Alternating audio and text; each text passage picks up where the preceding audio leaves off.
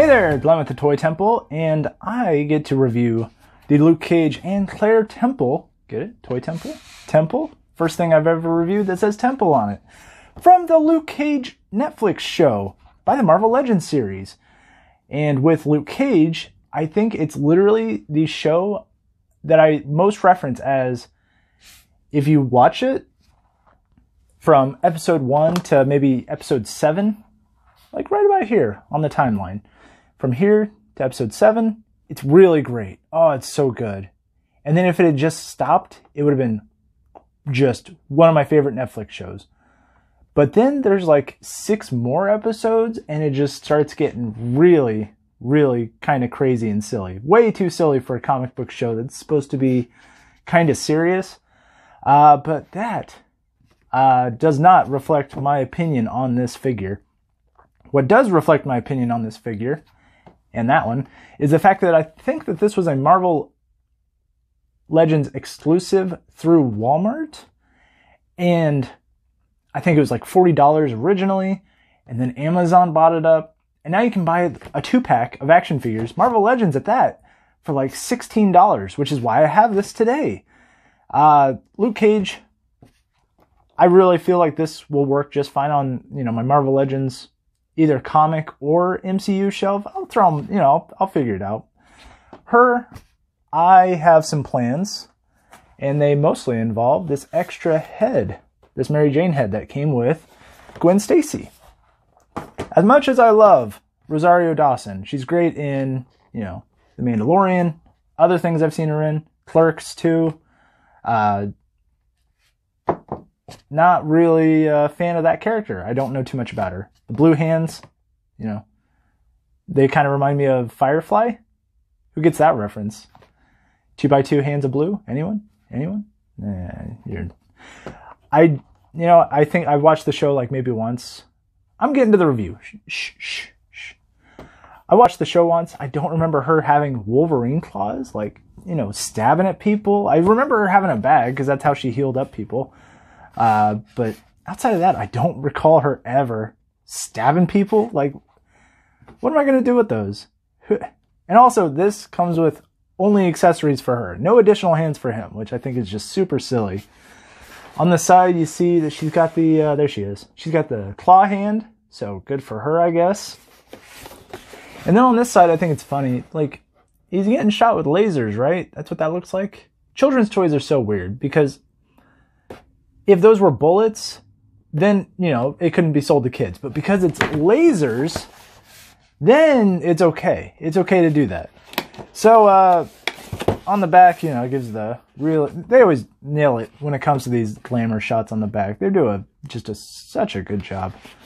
Uh, but let's crack it open, you know, it deserves a good look. They're out. All right. So, uh, she was posed kind of weird. The likenesses are good, if I'm being honest. Let me flip it so you can take a look. She does look really nice. I mean, it does look like Rosario Dawson. To be fair, it's not a bad pack. I mean, if you really dig the show, this is a great pack to get. But I liked how the design for him came out, so I was like, okay, gotta gotta get him. And then her, you know, it's the same Marvel Legends buck that we've seen for women time and time again. You know, no double jointed elbows, just little little things here and there. What is going on with her ankle? There it is. Okay, it was tight there for a sec. But the purse looks good. Plastic doesn't open. It's got little buckles on it, painted. So that's good. Like I said, the claw hands I can do without. Where are they? There they are. Those hands, I'm just gonna throw them in the pile. Uh, she does have not much going on, but you know, the the joints feel good. They're still tight. They rotate well. Nothing's getting in her way. Her hair moves so she can look both ways. Let's see how easy to pop off. Very easy. Ball on, on a hinge. She's got the peg hole on her neck. And then Luke Cage. Uh, he's got kind of a something going on with his pants. So at the top there, they didn't really wash his pants, but then they did like a weird wash on the bottom part.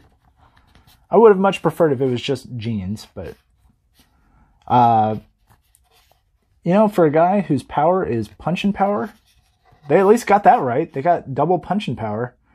I do like his little watch right here. That's cool. Wearing it on his left hand.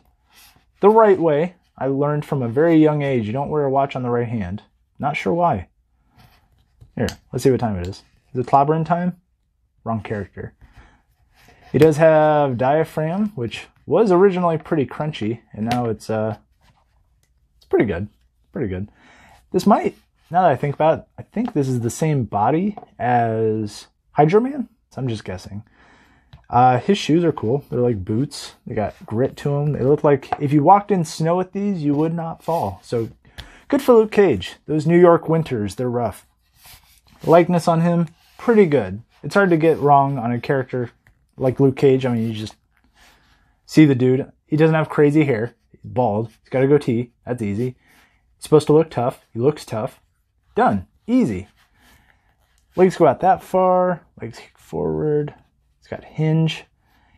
And oh.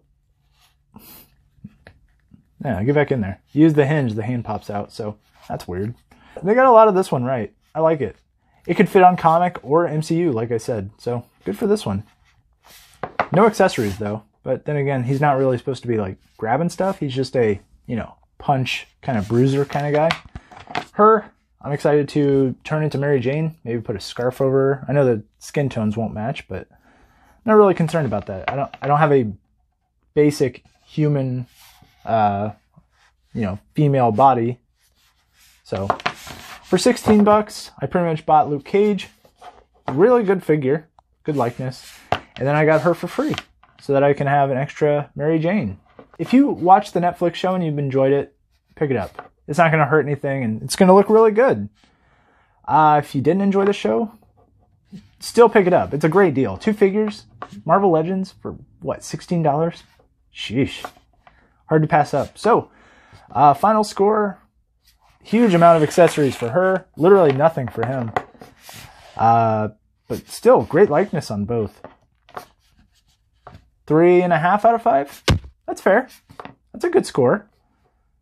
Mostly points in the uh, in the buying column, but yeah, overall, getting it out of the package, I feel a lot better about it. I really, I like the yellow. I like the jeans. Her outfit's nice. Likeness, it's there.